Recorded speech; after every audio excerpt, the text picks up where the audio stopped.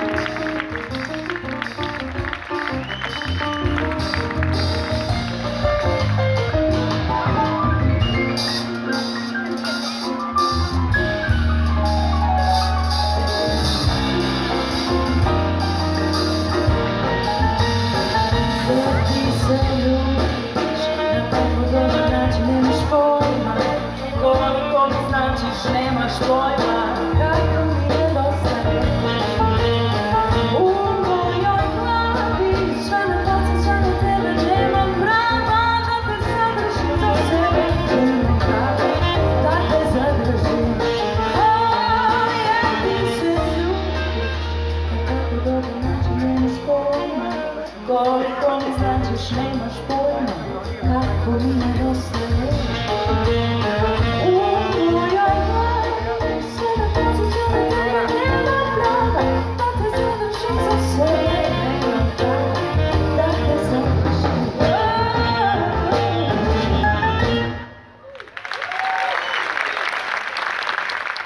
Hvala puno. Dobro večer. Evo, konačno je progovorila, a jednom kada to krene, oni najbolje znaju. Ja sam generalno neko ko voli da priča na koncertima. A, ono što je ovako, da kažem, specifično za ovo večer jeste da je ovo sigurno meni jedan od najdražih beogradskih festivala i ne samo beogradskih. Dakle, mnogo hvala na pozivu da budemo deo ovog godišnjeg Belefa i veliko je zadovoljstvo svirati za vas. Ovo je najbliže mojoj dnevnoj sobi što smo mogli da vas dovedemo. Dalje od ovog ne može, lepo je biti u rodnom gradu. Kristijan Mlačak, saksofon, molim vas. I Srđan Danasković. Od Kris i Srki.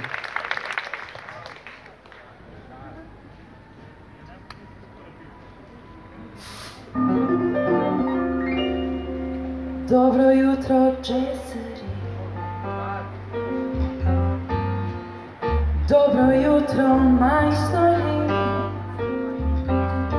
Da će da vas umori Ovaj bibat jutarnji Ovaj bibat jutarnji Setite se, džeseri Kad su bili ameni Kad su crnci svirali da li su folirali, setite se džezeri. Šta bi rekao i pisma, šta bi rekao Coltrane. U kafani sviraš bas, with a bebop in your vein, with